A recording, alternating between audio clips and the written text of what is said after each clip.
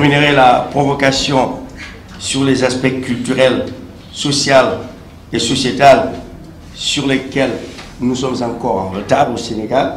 Et c'est là où je terminerai mon réquisitoire pour l'amélioration de la condition féminine dans notre société. Parce que je ne comprends toujours pas qu'au XXIe siècle, au Sénégal, on puisse sortir encore des inepties telles que non, ce n'est pas possible, non, elle ne peut pas serrer la main du marabout, du vieux, et elle ne peut pas être dans la même salle. Et pourtant, le soir, comme quelqu'un me dit, elle peut bien lui serrer beaucoup plus que la main.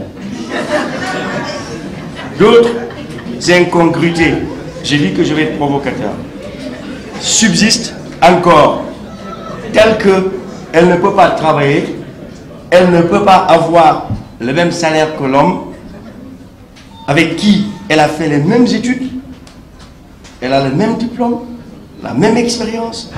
Hélène, j'ai regardé la grille des salaires, les, cinq meilleurs salaires, il y a deux hommes et trois femmes à la DER. On est d'accord?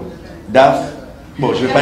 Je suis outré et choqué quand j'entends dire encore dans le Sénégal des profondeurs, et ça c'est le travail de nos agriculteurs, de nos ingénieurs, elle ne peut pas être propriétaire, parce qu'elle n'a pas le droit euh, d'être propriétaire d'une terre. Je pense que les choses sont en train d'évoluer, ou elle ne peut pas hériter, ou quand elle hérite, elle a deux, un tiers ou deux tiers, parce que les hommes ont plus que les femmes, si j'ai bien compris.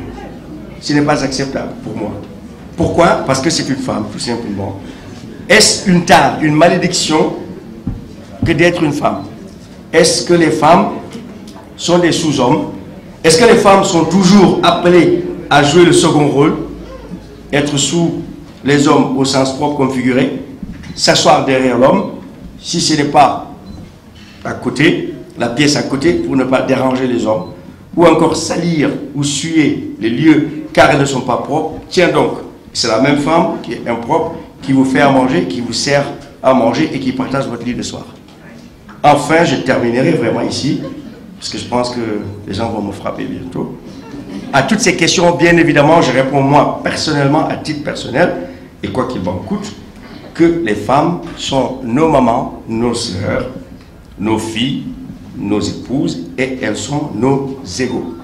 Il faut que ce soit clair. Ce sont nos naoulés, comme on dit en Wolof, et nous leur devons respect, considération, affection, protection et amour, comme elles savent bien nous en donner aussi.